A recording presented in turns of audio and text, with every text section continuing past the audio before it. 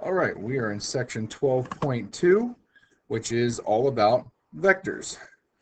so what are we going to do? We're going to define and discuss some basic properties of vectors and their applications. So what is a vector? I am so glad you asked that question.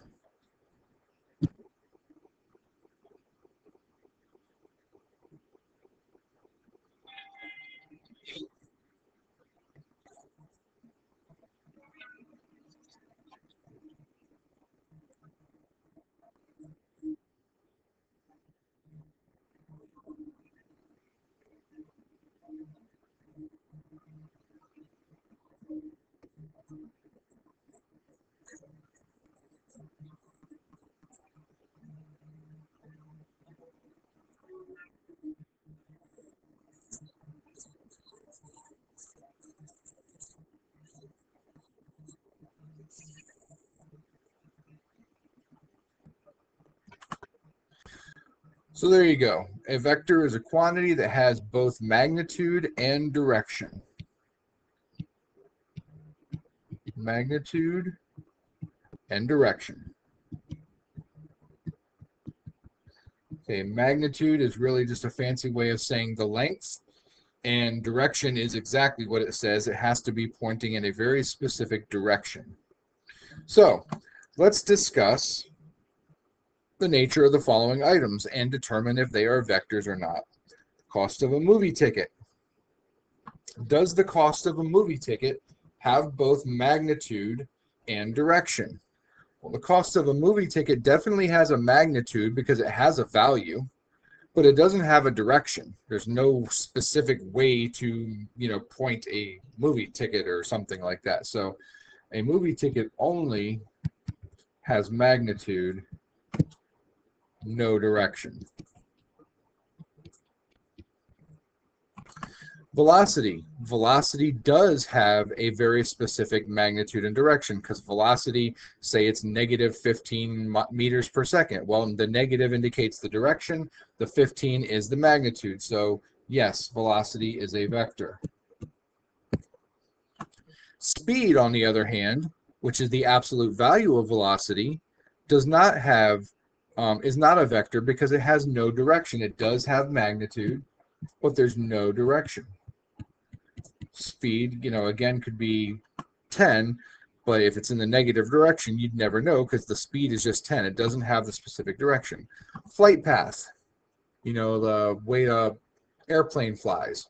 the flight path itself doesn't have a magnitude. There's no specific number associated with the flight path, but it does certainly have direction because you got to go from point A to point B. It's giving you a direction, so there is no magnitude with the flight path. Now, the flight's velocity, on the other hand, definitely has magnitude. River current. So the river current flows in a very specific direction and can be measured as a specific value. So that is going to be a vector and in pushing something using force, again, the direction makes a difference, and how much um, force you're exerting on the object is going to be a vector. Okay, and those are just some concrete, real-life examples of things. So hopefully that makes sense as to what vectors are technically. So now let's figure out how we're actually going to represent vectors. if we wanted to represent the vector 4, 2. And you'll notice the little um, uh, pointy brackets there. Um, that's kind of like the greater than less than symbols or whatever around them. That is a vector notation. There are different vector notations. This is the one that we will most commonly use.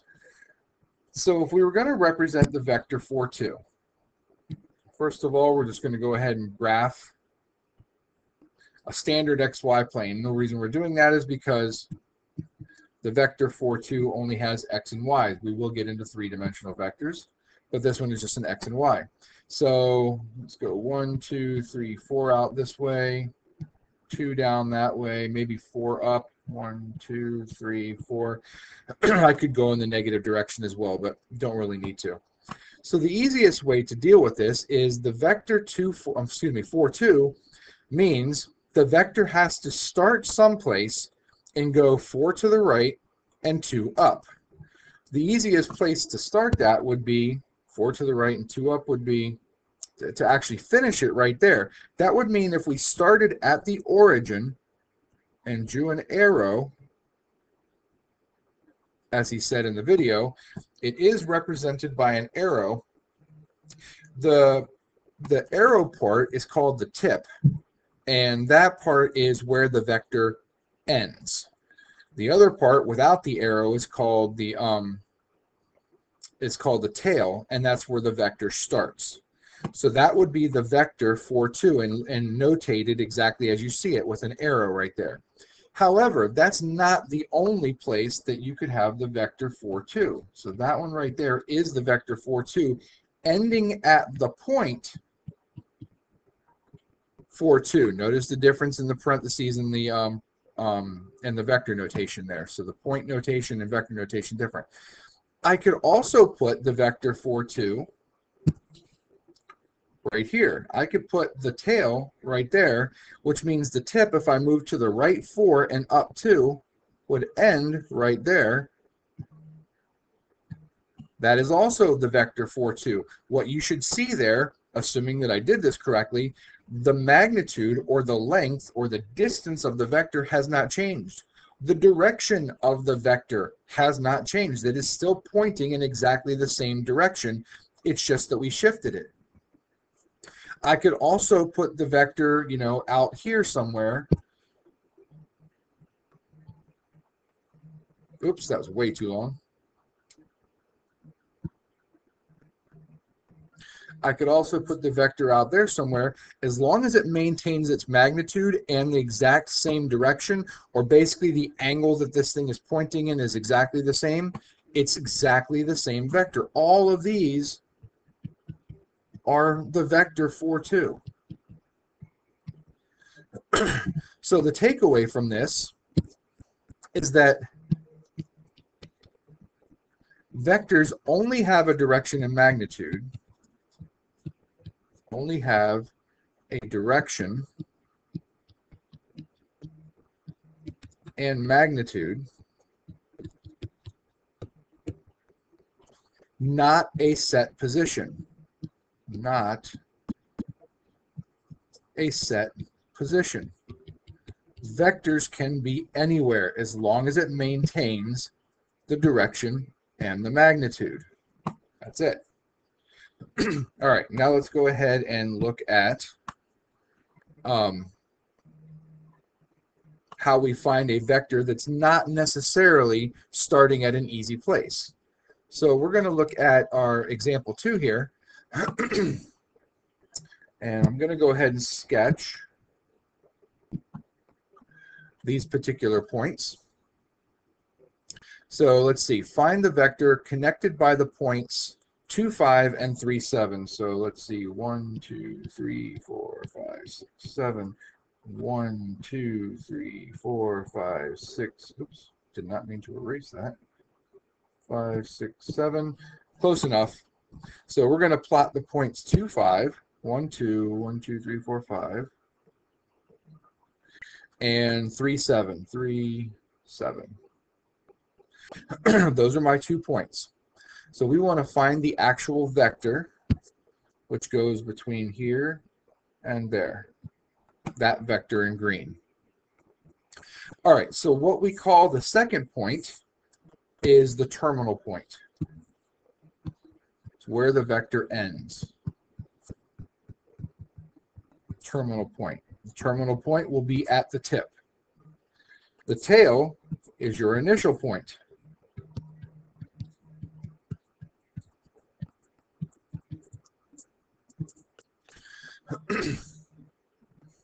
so if I want to find the vector, I'm basically just going to figure out how much did I move in the x direction, how much did I move in the right direction, and that's really going to be our vector. So looks like we moved one in the x direction and two in the y direction. So from A to B, we're going to call, we'll call this A, call that B vector AB, and it's notated like that with a little half arrow thing on the top. Some people put the whole arrow, it doesn't matter.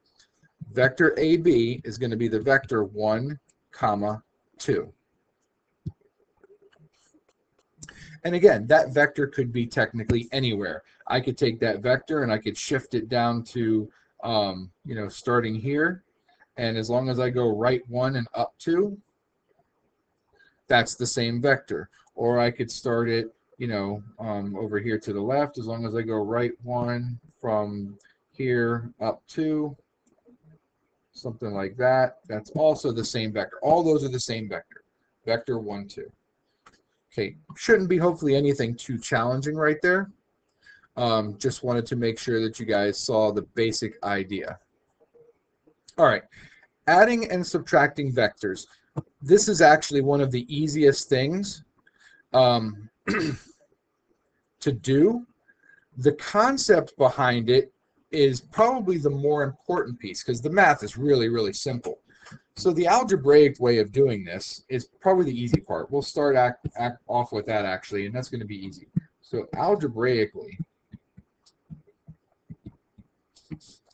adding two vectors is very simple. If I want to take vector A and add it to vector B, I am literally going to take vector A's components, 2, 5, and add them to the components of um, vector B.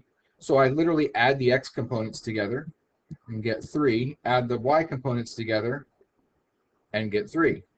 So adding the two vectors is very simple. You just add the x components, add the y components. That's the easy part. Geometrically, it's going to be a little bit more challenging to see.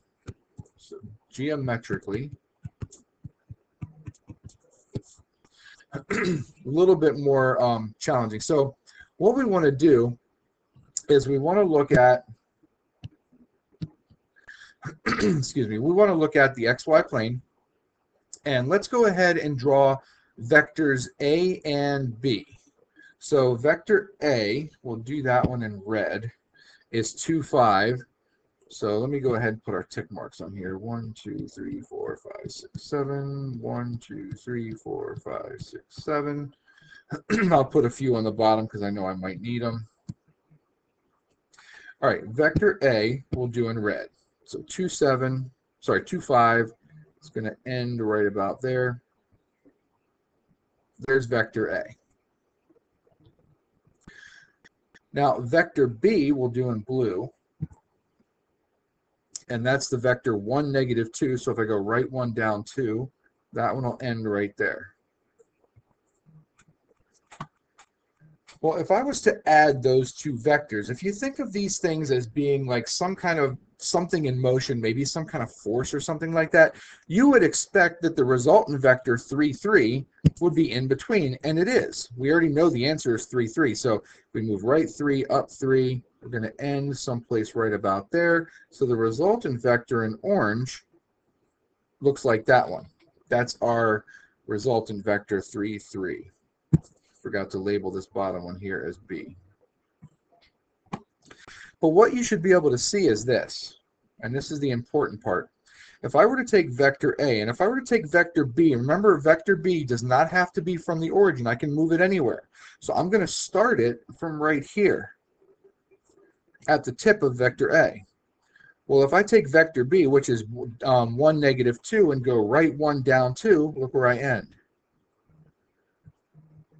Right there at the tip of the resultant vector. Or if I were to go the other direction, and I were to take vector b first, and then I were to take vector a and add it to it, well, so vector b down at the bottom, and then I want to add 2, 5. So if I go right 2, up 5, I end up in exactly the same place. So what that tells us is that vector addition is commutative. It doesn't make any difference which order we do it in, which is nice. And hopefully what you can see is the geometric shape that this thing forms is a parallelogram. It's actually a really important concept. It's a parallelogram. And so let's kind of take the idea of maybe you've got, um, you know, this is going to be horrible, so I apologize for my lack of drawing skills here.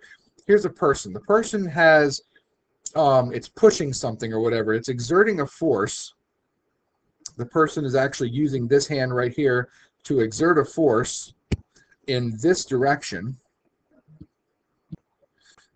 well, actually, I should probably do that in red.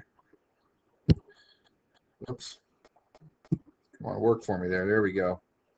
In red. So that's force A. And then, I don't know, maybe they're using their foot or something like that to push along. I did not draw this very well, but maybe they're using their foot to exert um, force B.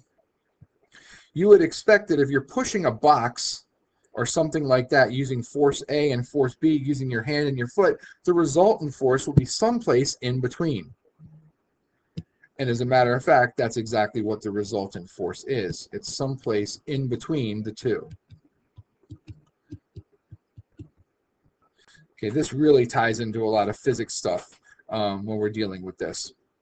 But that's kind of, a, again, it's just a more of a general geometric representation. The important thing is, is that you can see that when you add the two um, vectors together, they actually form a parallelogram um, in this case because of the fact that you can add them in either direction.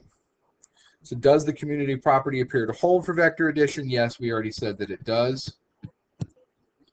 What geometric does it uh, uh, figure does it appear to form? It is a parallelogram. Parallelogram, ogram, Agram? I don't remember. Something like that.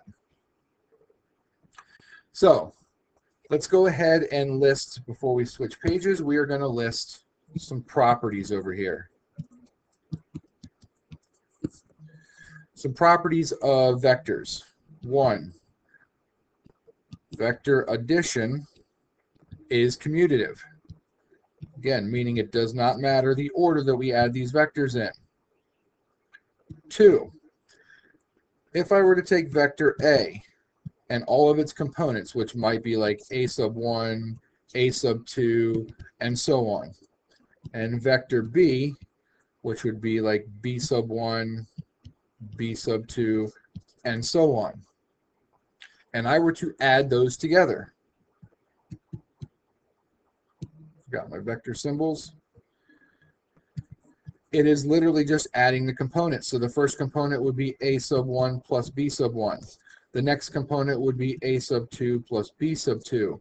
And, oops, and so on. You're just adding the components together.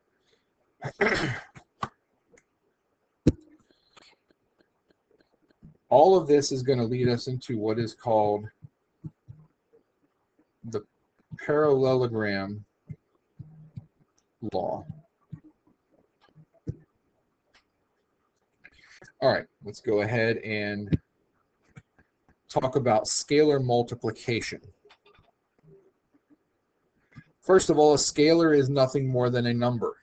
It's just a constant of some kind. So scalar multiplication would be like taking a number like 5 and multiplying it times a vector. We're going to investigate what that does. And again, very, very simple to do. I want to make sure you guys at least see why it works.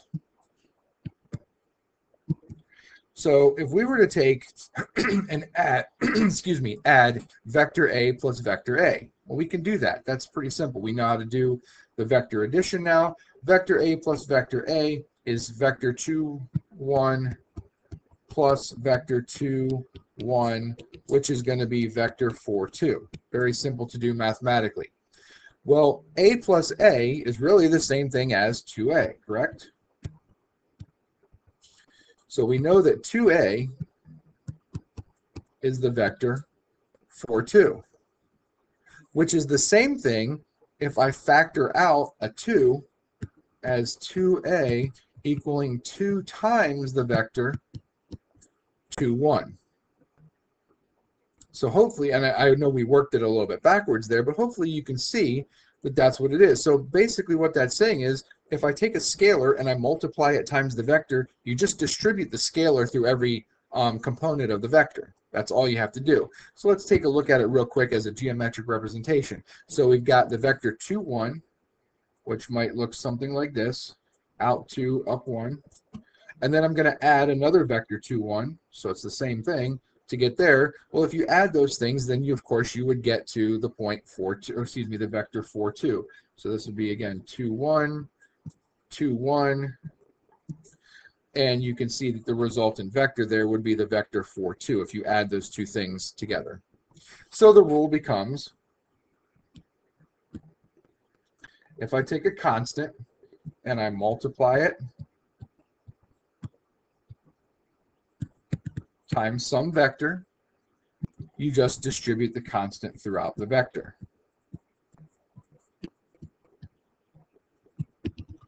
And so on. Again, not difficult to do. Hopefully you can um, pretty easily see what's going on in there. All right, I think we're going to do one more example here, and then we're going to come back with a second video. This video is starting to run long already. So let's look at drawing two vectors in space.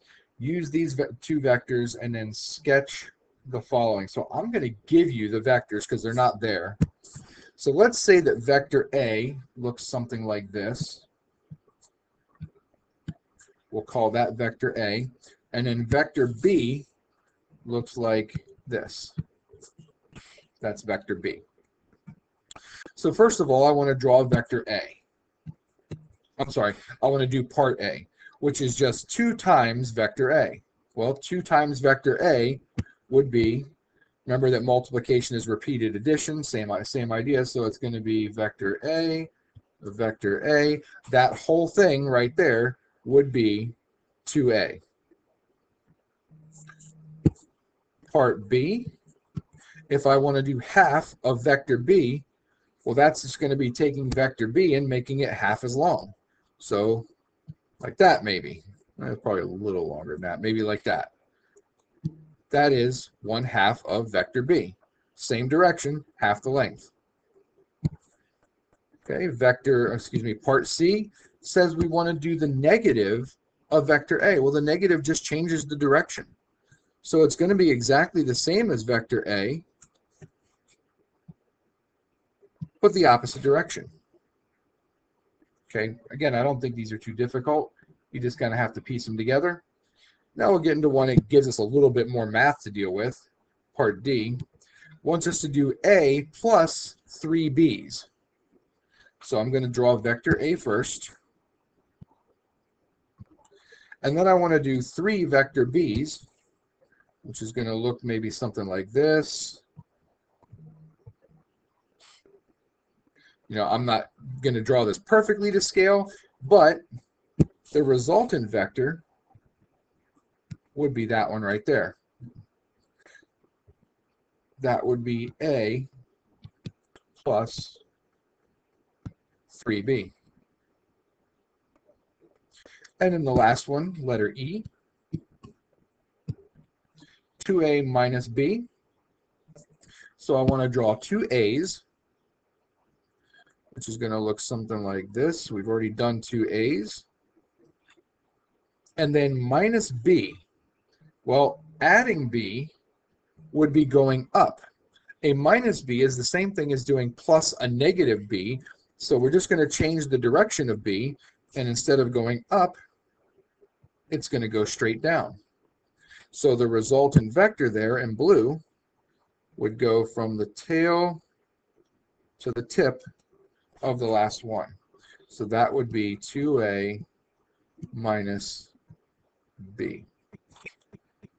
Okay, and that's all there really is to sketching vectors. Just make sure you um, um, keep it in the proper perspective. All right, we'll come back with another video, and hopefully that will finish off the lesson.